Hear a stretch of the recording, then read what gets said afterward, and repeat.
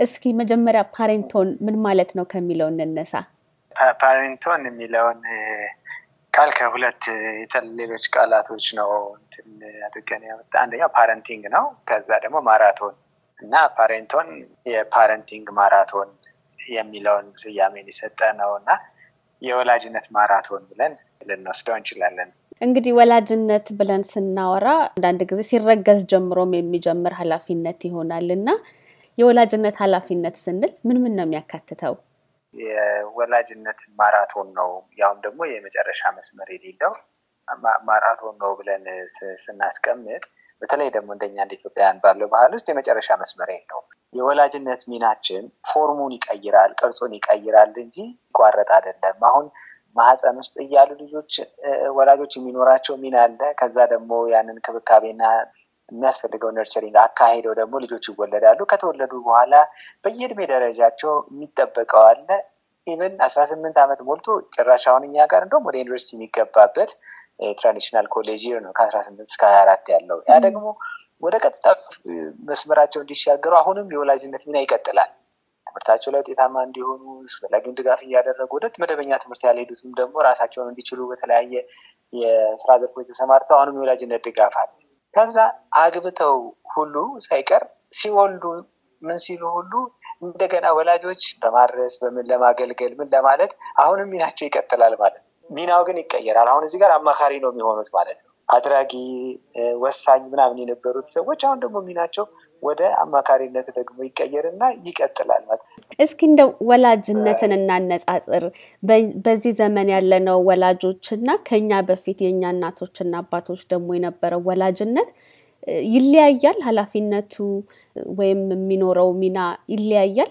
ባለፈውም ዘመን በአሁኑም ዘመን እንዳሉ የቀጠሉ ጉዳዮች አሉ። የተለወጡም ደግሞ ነገሮችን ማየት ይቻላል። በተለይ በተለይ እንደው አሁን በቀደመው ጊዜ ከባድ የነበሩ ነገሮች ልጅ በማሳደግ በወላጅነት መንገድ ውስጥ ከባድ የነበሩ ነገሮች አሁን ጊዜው ወቅቱ ያቀለላቸው አሉ።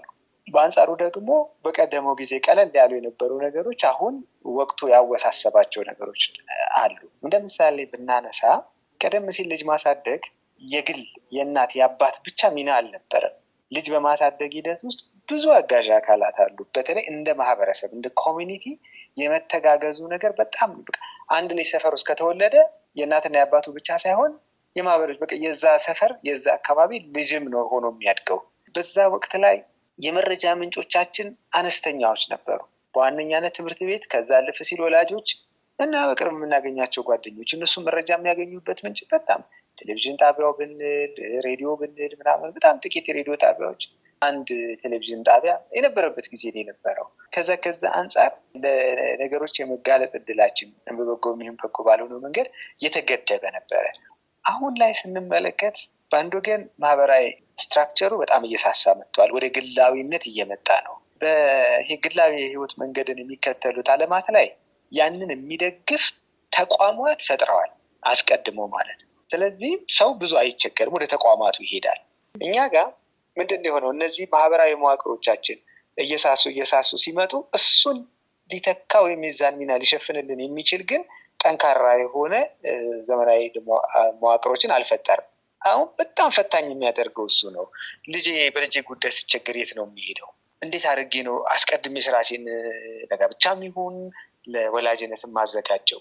ስለዚህ ልጅን ማሳደግ በጣም ፈታኝ ያደርጎታል። ከዛ ውጭ ዓለም ዝርግ ሜዳ ሆና የለ አሁን ከዛ አንጻር መረጃ በጣም በጣም በሰፊው ሜዳ ላይ ነው ያለው።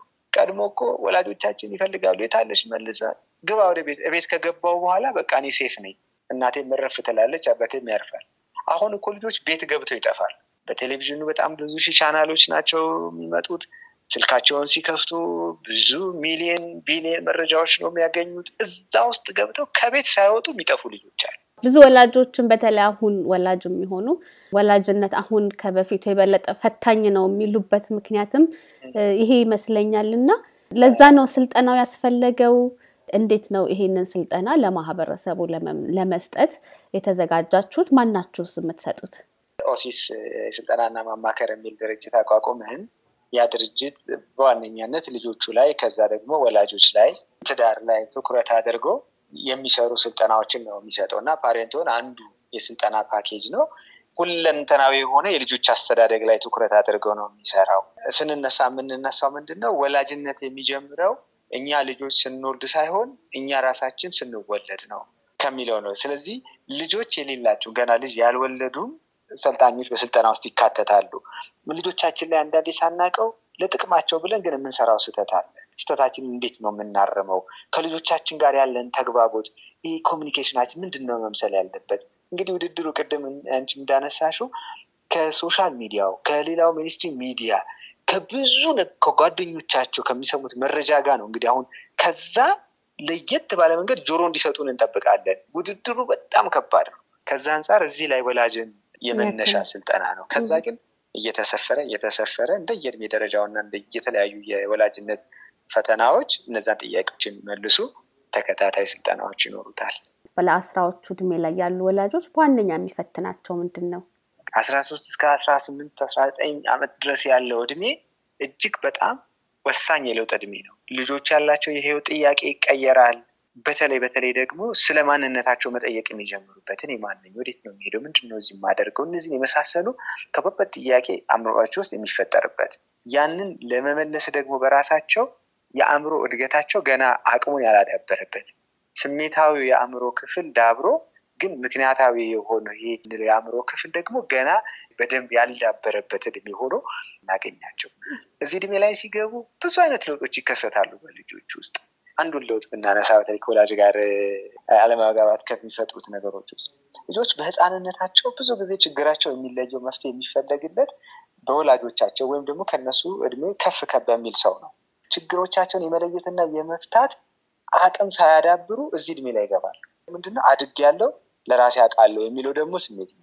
ችግሮች ሲያጋጥሟቸው እነሱን ውሳኔ የሚጠይቅ ነገር ሲመጣ እንዳይፈቱት የልምድ እጥረት፣ የአቅም ውስንነት አለ።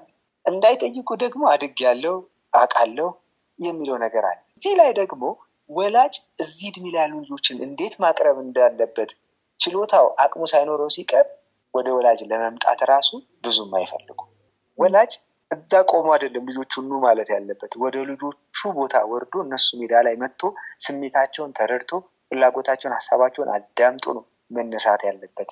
እነዚህ እነዚህን የመሳሰሉት የእድሜው ተፈጥሯዊ ፈታኝ መሆን የለውጥ እድሜ መሆኑ ለዛ ለውጥና ደግሞ ፈተና ወላጆች ደግሞ በአግባቡ ራሳችን አለማዘጋጀታችን እድሜውን ከባድ ስለሚያደርጉ ትልቁ ችግር ቲኔጅ እድሜ ላይ ያሉ ልጆች ናቸው። ወላጆች አሁን የጠቀስካቸውን ኃላፊነቶች ባልተወጡ ወይም ደግሞ በተገቢው መንገድ ባልሄዱ ቁጥር እና ከልጆቻቸው ጋር ያለው መራራቅ ወይም ክፍተት እየበዛ በመጣ ቁጥር ምንድን ነው የሚፈጥረው? በማህበረሰብ ውስጥ የሚፈጥረው ተጽዕኖ? ስናሳድግ የምናሳድገው ህፃናትን አይደለም፣ የነገውን ወላጆች የነገውን መሪዎች ነው እያሳደግን ያለ ነው። parenting ላይ የተቃና ጥሩ የወላጅነት መንገድ ተከትለን ስንሄድ ጥሩ ወላጆችን፣ ጥሩ መሪዎችን፣ የተለያየ ሙያ ላይ ቢገቡ ጥሩ አገልጋዮችን እያፈራን እንሄዳለን። ያን ባላደረግን ቁጥር እንግዲህ ማህበረሰብ መነሻው ቤተሰብ ስለሆነ ቤተሰብ የታመመ ቤተሰብ ይፈጠራል ማለት ልጆች ወይ ባልተገባ ጤናማ ባልሆነ አቅጣጫ ህይወታቸውን ሲመሩ እናያለን። እዛ ቤት ውስጥ ሆነው አንዳንድ ልጆች ቤትን ጥሎ ሲወጡ እናያለን። ምን አሁን አሁን የምንሰማው በቃ social media ላይ ራሱ post እያደረጉ በቃ ራስን የማጥፋት ምናምን ስራዎች ሁሉ እዚህ teenage እድሜ ላይ ያሉ ልጆች ሲፈጽሙ እናያለን። ይህ ማለት ምንድን ነው? እንደ ማህበረሰብ እነዚህ ሁሉ ትላልቅ ችግሮች ናቸው። ከወላጅነት መንገድ አንጻር ችግር ተፈጠረ ማለት እንግዲህ የታመመ ማህበረሰብ የታመመ ነገንም ነው ጥለን የምናልፈው እና ወላጅነት እጅግ በጣም መሰረታዊ መሰረታዊ የማህበረሰብ ግንባታ መንገድ ነው እና እዛ ጋር ስንታመም እንደ ማህበረሰብ ህመሙ ከባድ ነው። ወላጆች ይሄንን ስልጠና በምን መልኩ ነው ማግኘት የሚችሉት? በነፃ ነው የሚሰጠው? መሳተፍ የሚፈልግ ሰው እንዴት ነው የሚያገኛችሁ? በነፃ የሚሰጡ ፐብሊክ ሴሚናሮች አሉ። ያው በነፃ ሲባል ሌላ አካል ከፍሎባቸዋል ራሱን የቻለ ወጪ ስላለ። ከዛ ውጭ ደግሞ በተለይ በአነስተኛ በአነስተኛ ቁጥር የሚደረገው ስልጠና ደግሞ ክፍያ እየፈጸሙ የሚወስዱት ነው።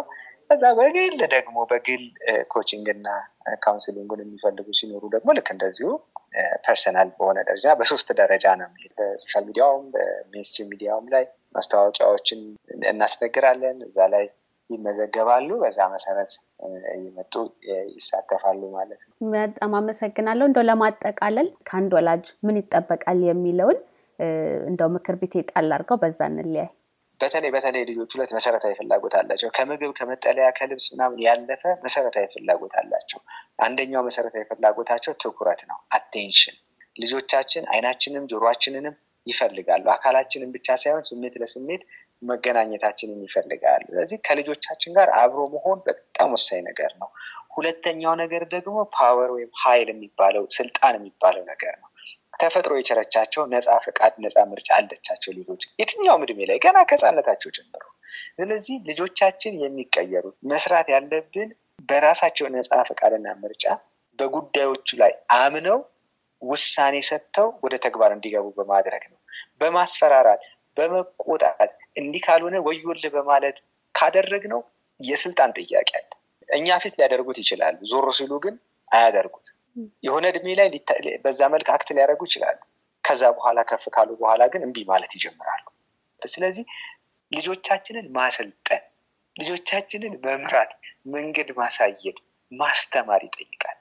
ይሄ ትዕግስት የሚፈልግ ስራ ስህተት ሲሰሩ ደግሞ ከስህተት እንዲማሩ እያንዳንዱን ስህተታቸውን የማስተማሪያ እድል አድርገን እየተጠቀምን መምራት ከቻለን ልጆቻችንን ሁለንተናዊ በሆነ መንገድ ቀርጸን ማሳደግ እንችላለን። አለበለዚያ ከአንድ ጎን ብርሃን እንዳገኘ ተክል ወደ አንድ ወይ በአካላቸው ጥሩ ይሆናሉ፣ ማህበራዊ ህይወት የለም፣ ወይ በትምህርታቸው ጎበዝ ይሆናሉ፣ ነገር ግን አካላዊ ጤንነታቸው ጥያቄ ውስጥ ነው።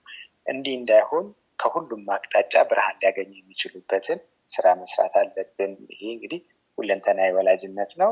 በጣም ነው የማመሰግነው አቶ ሽመልስ፣ እግዚአብሔር ይስጥልኝ። ከኛ ጋር ለነበረው ቆይታ እጅግ አድርጌ አመሰግናለሁ። እኔም በጣም አመሰግናለሁ።